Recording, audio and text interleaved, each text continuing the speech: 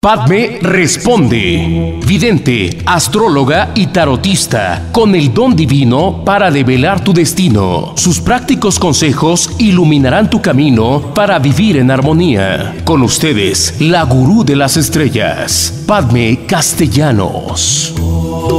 Namaste, mi querida familia cósmica. Pues como lo dijimos al inicio, en verdad esta parte del macho se les puede quitar. Y sobre todo cuando vienen conmigo a consulta y me dicen, Padme, es que yo lo amo, yo lo quiero. Pues bueno, el día de hoy yo estoy sumamente feliz. Bueno, se engalana el punto crítico con manteles largos. Porque bueno, chicas, les voy a decir, no se emocionen, nada más les voy a decir. Es doctor en Derecho, Canta bueno, como Los Ángeles, te puede enamorar con su voz. ¿Qué te puedo decir de su físico? Es exageradamente un caballero, un gentleman de los cuales, bueno, te enamoras por completo. También les quiero decir que es mi gurú para todos aquellos medios que siempre me preguntan, bueno, ¿y a quién le pides consejo? Y siempre les digo, yo quedo con mi gurú, con mi sensei, aparte que es mi mejor amigo, es mi confidente, bueno, es a quien le llamo 3 de la mañana, ¡Eh, por favor, Marco. Y bueno, ya dije su nombre, mi querido Marco Chacón, muchísimas gracias, bienvenido amigo, namaste. Hola amiga, bueno, con esa introducción ya está pena me dio que me vean porque seguro estaban esperando un chavo guapísimo y bueno, qué decepción, ¿no? No, no, para nada. Feo, fuerte y formal. No, no, no, no, para nada. efectivamente, tú porque me tienes cariño me ves guapo, pero bueno, no, no le des esa impresión a la gente porque van a estar muy decepcionados. Y les voy a decir que bueno, ya está casado, orgullosamente casado, 18, 19 años. Bueno, de vivir juntos 18 años, pero casado como 6. Como 6, ok. Bueno, finalmente para nosotros las mujeres es el mismo compromiso. Es lo mismo. Fíjate, amigo, que hablamos en el programa anterior que, bueno, a todas las mujeres les encantó porque yo les, les comentaba, algunos de los hombres también me hablaron, me dijeron, bueno, a final de cuentas tocaste bien los puntos, Padme. Y es esta parte del macho alfa, Marco, en el cual les encanta tener el todas mías, les encanta llegar y plantarse ante uno como mujer, les vale si venimos con pareja o no. Pero antes quiero decir, ¿en algún momento de su vida Marco tuvo esta parte de macho alfa? Yo creo que todos debemos de tener una, una parte de eso porque viene en el ADN. Eh, si ves, digo, yo no soy especialista en el tema, aclaraste que soy abogado especialista en propiedad intelectual, pero hablo como hombre, no hablo... Así es, sí, hoy quiero tu opinión de hombre. De mi, especialista como hombre y, digamos las cosas que uno puede ver, la visión que uno puede tener. Es bien chistoso como ves las especies. Yo luego veo en el jardín un pajarito que empieza a inflar las plumas sí. y empieza a dar vueltas. Yo digo, este está impresionando las hembras, ¿no? Para, mm. eh, en un ritual de apareo. Y si observas la naturaleza en general, los rituales de apareo son verdaderamente hermosos, pero más, más que hermosos, son un acto eh, de llamar la atención de las hembras, ¿no? Pero fíjate. Entonces te das cuenta que desde chavo tienes ese instinto de cómo le vas a hacer para llamar la atención de las mujeres. Es un instinto también de apareamiento, que sirve para la reproducción. ¿no? Traemos en el ADN esa necesidad de reproducirnos. Claro, pero a ver, en esta parte, Marco, ¿Cómo en ese momento, porque tú mismo lo acabas de decir, qué hacía Marco en ese momento cuando era macho alfa? Yo creo que uno, a diferencia de las demás especies animales, teniendo en el ADN esa, esa necesidad de, de hacerte ver, de hacerte notar, todo el tiempo lo estás compensando con la parte del raciocinio, ¿no? Entonces tú también piensas. Y luego el tema social y el tema cultural también te inhiben de muchas conductas, ¿no? Pero entonces en la adolescencia hay cosas que te dan vergüenza, en la adolescencia tienes complejos y, te das cuenta cómo la sociedad empieza a cambiar. Eh, eh, cuestiones que vienen en el ADN de la naturaleza, llamar la atención las empieza a cambiar por otras. ¿no? Entonces, desgraciadamente, por ejemplo, eh, la gente se quiere hacer notar por la marca del pantalón, los chavos, por la marca de los tenis. Para poder querer entrar en ese círculo. Y empezar a llamar la atención. Y hay otros que quieren llamar la atención de bravucones. Eh, cuando, digamos, no hay nada, tengo yo entendido, que moleste más a una chava, que, que, que o le dé más inseguridad o más temor que un chavo bravucón que se anda peleando en todas las esquinas. Pero muchos de nosotros, y yo eso por ejemplo en algún momento lo hice, yo de chavillo era muy, muy bronco. Y, mecha corta. Eh, mecha corta, y me peleaba mucho y te, vas dando cuenta que, son cosas que sí traes en tu instinto animal, en tu ADN, pero que tu raciocinio te hace empezar a cambiar esos hábitos de, comportamiento, pues por llamar la atención de una mejor manera, ¿no? Con una, una buena plática, este, y, convertirte en un macho de contenido y no en un macho de, acción, que, como el pajarillo infla las plumas nada más. Claro, para llamar la atención. Pero a ver, Marco, aquí yo quiero preguntarte, porque hoy venimos en esta parte como hombre nada más, como viles mortales, hoy estamos hablando sin este pedestal, porque yo sé que muchas de las chicas que les das clases van a decir, ay, este es mi maestro guapérrimo y nada que ver. Y yo también lo digo porque yo, bueno, orgullosamente soy su amiga que nos podemos pasar 8 de la mañana, 10 de la noche hablando los dos. Entonces quiero decirte, Marco, ¿qué pasa en esta situación? ¿En qué momento el hombre decide? Porque yo, desde mi parte como mujer, que hoy les quiero decir como mujer, como consejera espiritual, siempre les digo, sí te da una estabilidad la pareja. O sea, esa estabilidad emocional. Y con esto no quiere decir porque de pronto les decimos, este, cuando le preguntamos, no sé, al novio, a la pareja, oye, ¿y qué crees? ¿Me conviene el contrato o no? Pues haz lo que quieras. Y una así como que, ay, mi vida, o sea, no te hubiese yo preguntado eso, quería una opinión tuya, ¿no? A final de cuentas, y bueno, para eso están como que ciertos amigos que les tenemos confianza. Pero ¿qué hace Marco en este momento? Que decide en verdad quitarse esta parte de macho y lograr esta, esta estabilidad emocional.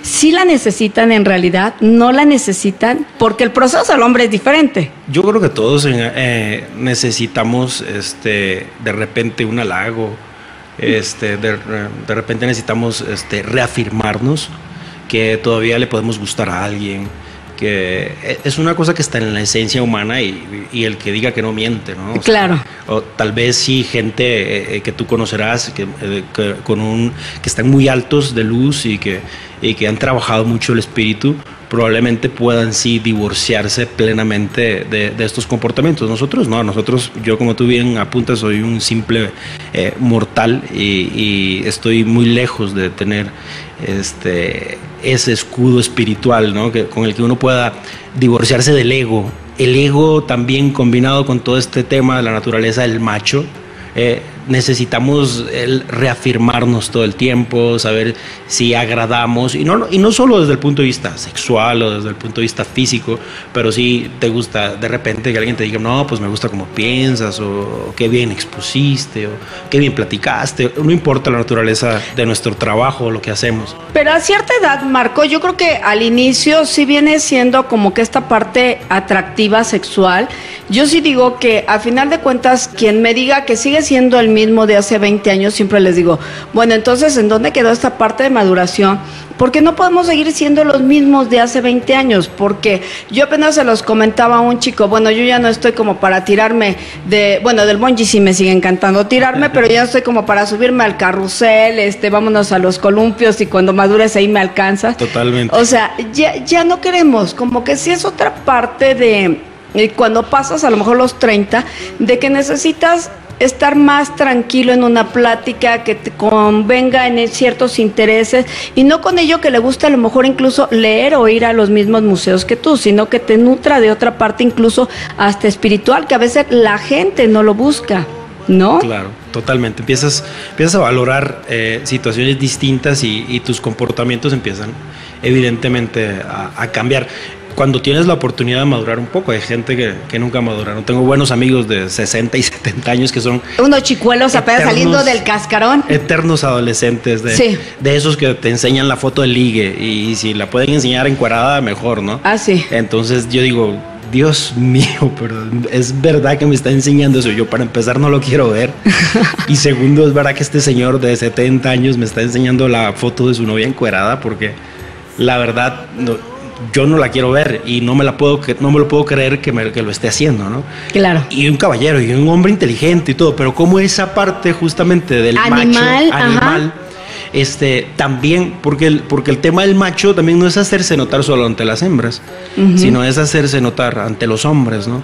Y entonces, claro, un poco de esa parte de hacerte notar es como decir, mira, yo sí tengo un montón de viejas, le gusto a un montón de viejas, mira lo que me ando almorzando, eh, etcétera, etcétera. Y ves como una persona inteligente, madura, con éxito y todo, en ese momento se está comportando como un perfecto idiota, ¿no? Claro, que tú es donde dices, bueno, entonces, ¿dónde quedó como que esta parte de la que me enamoré como mujer de, de este hombre? Y bueno, déjenme decirles para todos ustedes que me siguen, que bueno, Marco es Sagitario, entonces nuestro querido Sagitario, que por lo regular tendría que ser sumamente infiel, pues no lo es. Entonces, aquí vemos que en realidad cuando se quiere, cuando se ama, cuando en realidad se compagina con esta parte de, la pareja, pues bueno, sí puede llegar a ser esta parte de alquimia perfecta. las relaciones de pareja son muy complejas, digamos que no hay, no hay recetas, ¿no? Sí, no hay reglas. Y, tienes que trabajar todos los días, todos los días y todas las semanas y cosas que tal vez ya están trabajadas, luego cambian, porque luego cambian las situaciones, cambian los momentos. Y lo chistoso de la, relación de pareja es que es siempre de sube y baja, ¿no? Pero nunca uno sube y baja. Yo no quiero baja. ¿eh? uno nunca sube y baja al mismo tiempo, digamos, eso es lo complejo. Entonces, eh, muchas veces, y es normal, hay, hay momentos en los que eh, la mujer está más enamorada, hay momentos en que el hombre está enamorado, hay momentos en que la mujer está más cachonda, hay momentos en que el hombre está más cachondo. Entonces, y hay momentos en los que coincides, ¿no? Por eso es que los años del enamoramiento, los primeros, son tan padres, porque sueles coincidir en todo. Entonces, ese enamoramiento te ciega este, profundamente y los dos están igual de cachondos, los dos están igual de entregados, los dos están igual de ilusionados, los dos están igual de emocionados y por eso es que todo es tan fácil, ¿no? Ya, la, ¿cuándo cambia la relación? Cuando al primero de los dos tiene el primer bajón. Y entonces, cuando el primero de los dos tiene el primer bajón, resulta que ya las cosas no son iguales. Entonces empieza el reclamo de uno al otro. Es que ya no eres como antes es que ya no me tratas como antes, es que ya no me hablas ya como antes. Ya no me mandas el audio de voz como antes. claro, porque es normal, eh, son procesos que se van dando. Entonces, claro, cómo trabajas y, y, sin escaparnos del tema, y también cómo trabajas tu esencia de macho o tú tu esencia de mujer para que esas situaciones no cambien y tratar de conservar en la medida de lo posible la magia, ¿no? Pero ¿cómo le hace un Sagitario este interminable arquero que toda la vida está buscando encontrar esa tranquilidad que siempre lo busca afuera y yo siempre le digo a todos Sagitario que la tranquilidad la vas a encontrar adentro no necesitas irte a ningún otro lugar y es complicado y bueno y tú que eres Sagitario doble Sagitario ¿cómo le hiciste Marco? Yo creo que la tranquilidad está en uno mismo Sí, siempre. Digo, en uno mismo, ¿no? Pero lo descubriste en algún momento. Yo lo que me he dado cuenta, sin que, vuelvo y repito, sin que sea yo ningún gurú ni, ni nadie. Para que, mí sí es ni mi nadie, Ni nadie que esté en, eh, posición de, de, aconsejar a los demás. Pero yo lo que, lo que a mí me ha funcionado eh, en lo personal es, es entender que la estabilidad es lo más cercano a la felicidad. Entonces, muchas veces buscamos como las experiencias o las emociones extremas, pensando que el éxtasis es un estado de felicidad, cuando la, no es cierto, el éxtasis siempre va seguido de un bajón. Y eso nos convierte eh, en personas inestables emocionalmente.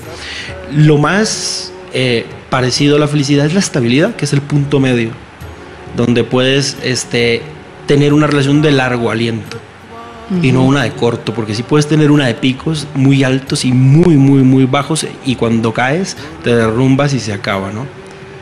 ¿Y saben por qué invité a Marco? Porque a él siempre que, él sí me ha conocido en esta parte de mis picos, y me ha dicho siempre, bueno amiga, es que sabes que nosotros como hombres pensamos así y así. Y el error de uno como mujer es que siempre, amigas, queremos que ellos piensen como nosotros. Y no, créeme que para eso siempre tienes que buscar la opinión de otra persona, porque si no tú te vas a seguir muy enganchada a esta parte y vas a decir, yo como mujer lo cambio. En el momento en que tú dices, yo quiero cambiar al macho, créeme que desde ahí ya valió. ¿Cierto o no, amigo? Eh es difícil querer cambiar a alguien. Completamente. Y eso es complejo en cualquier tipo de relación humana, en una relación laboral, en una relación de amigo, eh, en una relación este, de trabajo, decía. Pero es todavía más complejo una relación de pareja. Sí, y que eh, eso todavía quieren. Es que ya le mandé el mensaje, está este, navegando por todo este. Mutar, mutar o cambiar. A veces yo digo, quiero girar desde adentro hacia afuera. Porque muchas veces estás acostumbrado a enseñar todo lo, que enseñas, tal vez no es lo mejor de ti, y escondes y te proteges guardando la mejor parte. Entonces, muchas veces eh, dices, lo mejor es girar desde adentro hacia afuera y mostrar lo que traes dentro. Y claro, eso te pone en, una situación eh, este, complicada, porque de fragilidad para muchas personas, por eso es que la gente se esconde y se guarda. Pero es un problema, porque eh, yo me doy cuenta ah, que, tengo un chavo en la casa y veo a sus amigos, este, que muchos de sus amigos quieren enamorar a las chicas y volvemos al tema del macho alfa con lo peor de ella, de ellos mismos. Y hay un amigo en particular de, Julián que, que, lo quiero mucho y que me da, muchísima gracia. Y yo lo siento y le digo, no voy a decir su nombre, obviamente. Le digo, Pero lo encuentras en Facebook, ¿cómo? es que tú eres un chavo que tiene muchas cualidades y esto se lo digo para los que nos están escuchando, ¿no? Tienes muchas cualidades, tienes muchas virtudes, pero no sé por qué te empeñas en querer enseñar algo que no eres. Así es. En querer demostrar algo que no eres. Entonces, logras llamar la atención con, una, con un personaje que te inventas que no lo puedes mantener más de una semana. Y si una chava inteligente te conoce, te desplomas en 24 horas, porque en 24 horas vas a ver que todo ese personaje que te inventaste no es real. Así es. Entonces digo, ¿por qué mejor no muestras lo que traes dentro? Fíjate que aquí, Marco, algo que sí les quiero decir, mis queridas amigas, amigos también, es que aquí es algo que siempre me lo debaten ustedes y que siempre me dicen, Padme, es que cuando me he entregado por completo, me han lastimado, me han hecho esto, incluso en la, en la familia, incluso con los amigos, cuando me entrego y doy todo lo bueno de mí. Y yo hoy por hoy, amigas, les quiero decir, y también para ti, mi querido amigo, ¿qué vale más? Seguirte resguardando y conteniendo en esto que en verdad entregarlo.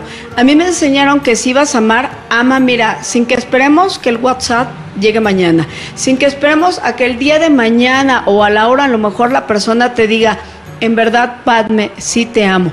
Porque hay veces que las personas están tan lastimadas que queremos que reaccionen como nosotros, cuando en realidad nunca va a pasar igual de esa manera porque cada uno, estoy de acuerdo contigo, guarda lo mejor y dice, ¿cómo para qué hacerlo? Yo siempre he dicho, yo tengo la, fortuna y la ventaja de conocer personas como Marco que me enseñan lo mejor de ellos y que siempre estoy en esta parte de aprendizaje y que si es dar la mano, dalo de verdad, amiga, porque en el momento en que me dices, es que son mal agradecidos, no me dijeron te amo, este, no me acompañaron a lo mejor ni siquiera al Uber, ¿no? O no me pidieron el Uber. Entonces, este, estás como que cayendo en ello porque aguas, ahí sí estabas tú esperando que la misma persona te lo diera. Si tú estás decidiendo entregarte, entrégate. Te estás demostrando a ti mismo o a ti misma que tienes esa capacidad para hacerlo. Por supuesto que aquí cae en algo que, bueno, yo soy este muy mocha, Marco lo sabe, Marco también es muy mocho igual que yo, por eso somos amigos, en el cual de pronto yo lo decía Marco hace ocho días, que de pronto creen los hombres o las mujeres que porque nos arreglamos muchos o nos gusta estar bien, ya como que también todos los hombres son míos en medio México es este mío, y te empiezan a etiquetar, ¿no? Entonces, a Padme le gustan cierto tipo de, hombres o ya pasó por, por medio México, ¿no? Entonces le digo, y lo peor de todo es que la etiqueta te la pone otra mujer que no se permite también entregar esa parte de amor ni a ella misma, ni a otra mujer, y mucho menos a otra pareja, ¿cierto? Totalmente. El, tema de mostrarse es, es complejo obviamente hay, hay un rollo ahí de, temor al, rechazo, eh, muy profundo, pero es un, es un sinsentido, porque la gente por, una, por, un, por un lado quiere venderse, ¿no? O sea, quiere que lo compren como si que fuera un producto. ¿no? Ah, Acéptame, véndeme, soy simpático, soy alegre, soy dicharachero. Este, no sé qué y no sé cuánto, y, quieren enseñar, vuelvo repito, ese personaje que se inventan, que tal vez sí lo es, o sea, no estoy diciendo que toda la gente que sea así se esté Pero son como que más neta cuando están con los amigos. bueno, entre hombres, los hombres son bien mentirosos. ¿eh? ¿Sí? sí, ya ve, chéquense, chicas. A mí, me, ¿eh? a mí me hace mucha gracia ver. Yo me acuerdo que, una vez trabajaba yo en, en, una editorial y salía a comer todos los días con unos buenos amigos y y nada más los volteaba a ver una chava como amablemente y, se decía, no, es que quiere todo conmigo. ¿estás seguro? claro. yo vi una chava amable que saludó nada más. Sí, ya. Y te no, no, no, no, no, te está tirando el calzón. No, por el amor de Dios, eso, no es verdad, ¿no? Claro. entonces luego te das cuenta también como entre hombres son muy presumidos, este, inventan más cosas de las que son, presumen más relaciones de las reales, presumen conquistas. Este, eh, es, los hombres, volviendo al tema del macho alfa, también queremos eh, echar la firmita como el perrito ante los cuates. Y, y, muchos, no estoy diciendo que todos, muchos son capaces en ese afán de, mostrarse como un alfa. Embarazar a la chica. Claro, o de inventar cosas que no son. Claro. Es lo más triste, ¿no? Claro, y que siempre el macho alfa va a tratar siempre de desvirtuarte, amiga, en decir, es que me utilizó, es que me engañó, es que me dijo, es que bla, bla. Entonces, en ese momento, de verdad, amiga, créeme que estás muy a tiempo, como te lo dije en el programa anterior, quítale la atención al macho alfa y vas a ver cómo ni siquiera lo regresa ni a beta, ni a macho, ni a nada, ¿cierto? Nos lo desplumamos por completo como mujer. Todos necesitamos la atención este, justa como seres humanos, no como machos ni como hembras. Y, claro que la atención es algo que necesitamos de una pareja, por eso es la vida de pareja, porque debemos ser un equipo, ¿no? Así y complementarnos, básicamente complementarnos. Entonces hay unas cosas en las que yo como hombre, no como macho, como hombre, debo de atender a mi pareja y hay otras en las que mi mujer me debe atender. No en ese plano sexista el hombre y la mujer, porque no quiere decir que la mujer tiene que cocinar. No, tú como hombre le puedes cocinar a tu esposo. Claro, aunque sea hasta un cereal, pero nos gusta. Absolutamente nada, nada de malo. Yo salgo a trabajar con mi mujer y llegamos en la madrugada de una, de una presentación y pues, mi mujer no sabe cocinar nada. Entonces, si me toca, yo vengo igual de cansado y no tiene nada de malo. Yo preparo. Claro. No sé hacer nada, digo, sé hacer un sándwich, pero ella no sabe ni hacer el sándwich. claro. Ven por qué amo a estos Sagitarios. Ven por qué me enamoré de ese Sagitario. El tema es que nos debemos complementar entre parejas. Vamos, pueden ser parejas del mismo sexo, mujer y mujer, hombre y hombre hombre y mujer. Sí, claro. El tema de complementarse no es buscar un rol de hombre y decir, tú como mujer te toca cocinar, yo como hombre, no eh, eso es un absurdo. El tema es que nos podamos complementar y que podamos eh, servir a la pareja eh, en el buen sentido de la palabra, ¿no? en el sentido de un complemento. Aquello que tú puedes hacer que el otro no puede, tú lo complementas y viceversa. Entonces te vuelves un equipo. Así es, por completo, que siempre va a ser nuestro puesto y complemento a aquella pareja que necesitamos. Y bueno, les voy a dar un, este, una pequeña eh, avance porque ya iniciamos programa, nuestro querido Marco y yo, en el Rose Esotérico, en el cual, bueno, pues ahí vamos a rostizar a muchísimo. Así es que estén muy al pendiente porque ya iniciamos programa juntos. Otra vez retomamos Marco y yo conduciendo. Así es que estén por favor al pendiente de ello. Y bueno, muchísimas gracias de verdad por habernos escuchado. ¿Y qué creen? En este momento nos vamos al momento dulce de la radio con mi querido poeta Miguel Ángel López Ibernal. Namaste.